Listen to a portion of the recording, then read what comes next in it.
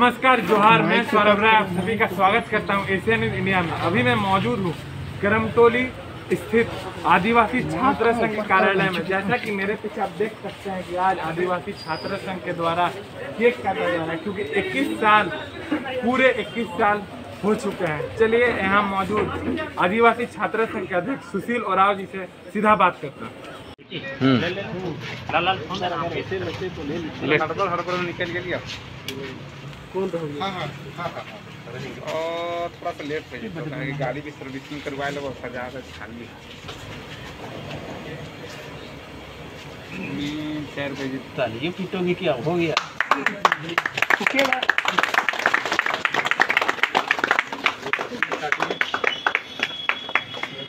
चले तो जाना।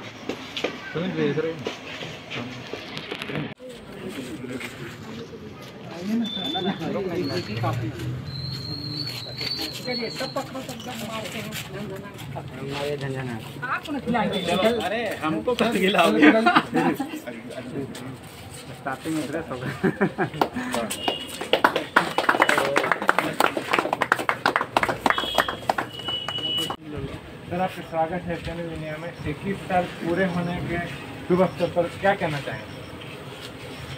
आपका चैनल को सबसे पहले हम धन्यवाद देना चाहेंगे कि आज आदिवासी छात्र संघ का 21 साल आज हम लोग पूरा किए और 21 साल समाज के लिए स्टूडेंट के लिए हमेशा आदिवासी छात्र संघ संघर्ष करता रहा और इसका बहुत सारा परिणाम भी मिला। ये आदिवासी छात्र संघ का संघर्ष व्यर्थ नहीं गया।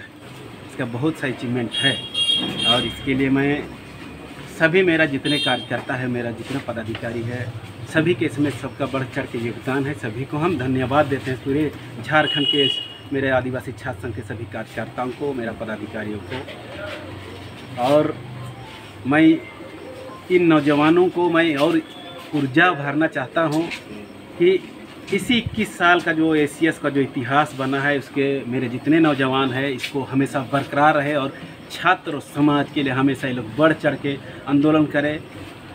जो भी अन्याय है उसके खिलाफ मैं हमेशा रोड में उतरे, ये हमेशा इन लोगों के लिए मैंने शिक्षा देते रहा हूँ और ये मेरा भी भी इन लोगों के लिए प्रेरणा बनना चाहिए कि हम आदिवासी छात्र संघ का क्या अचीवमेंट हुआ है, उसको सबके सामने दिखता है। बहुत लोग को जो नए हैं उसको नहीं भी पता है, लेकिन आदिवासी छात्र संघ का क्या अचीवमेंट है, इसको परिसीमन को रोकने का आदिवासी छात्र संघ का देन है। बैकलो का नियुक्ति जब पुलिस में है, जितना भी अभी काला चमड़ा दिखता है, आदिवासी का छात्र संघ का देन है कि बैकलो का नियुक्ति हुआ है।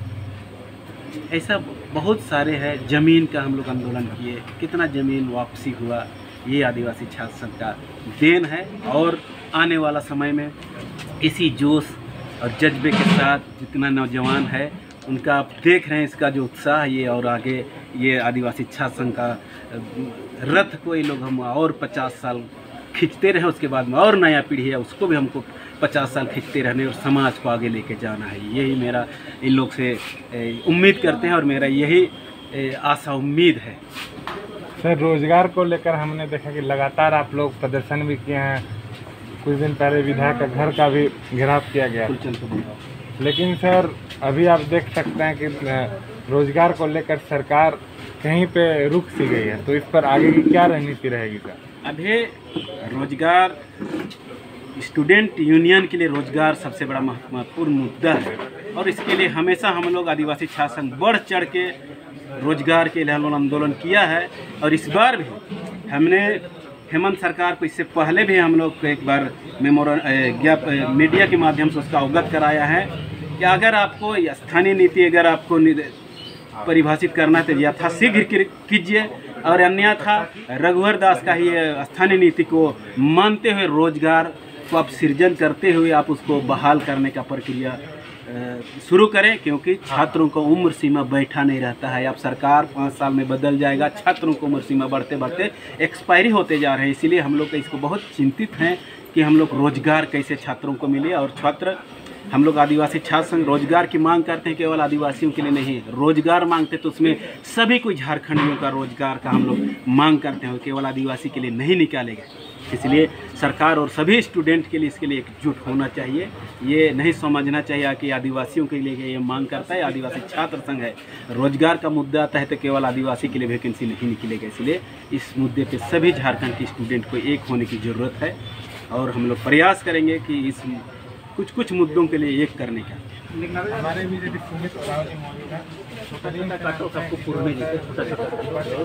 लेकर आप आप और आदिवासी छात्र संघ लगातार आंदोलन कर रहे हैं। लेकिन अभी हम देख रहे हैं कि आंदोलन को रुक सा गया आंदोलन आप क्या कहना चाहेंगे? झारखंड सरकार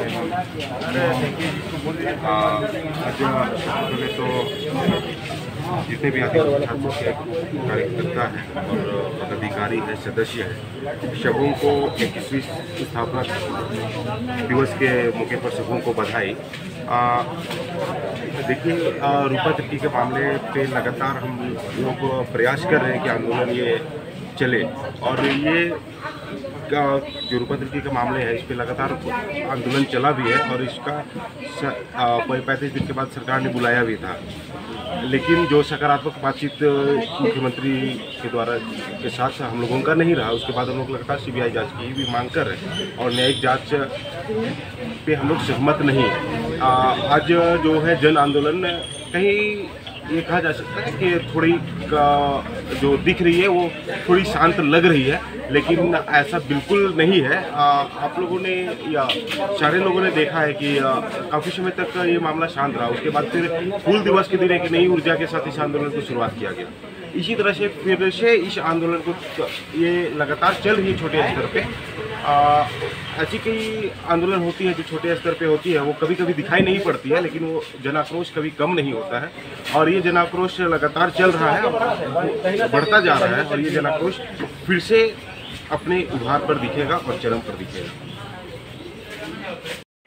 जैसा कि आपने देखा कि किस प्रकार से आदिवासी छात्रा संघ द्वारा 21 साल पूरे होने की खुशी पर केक काट के जश्न मनाया गया और इनका यही कहना है कि आदिवासी छात्र संघ हमेशा से स्टूडेंट्स के लिए आगे हैं, चाहे वो रोज़गार का मुद्दा हो या ही किसी और मुद्दा। और रूपा तिर्की के मामले में इनका कहना है कि लगातार आंदोलन जारी है।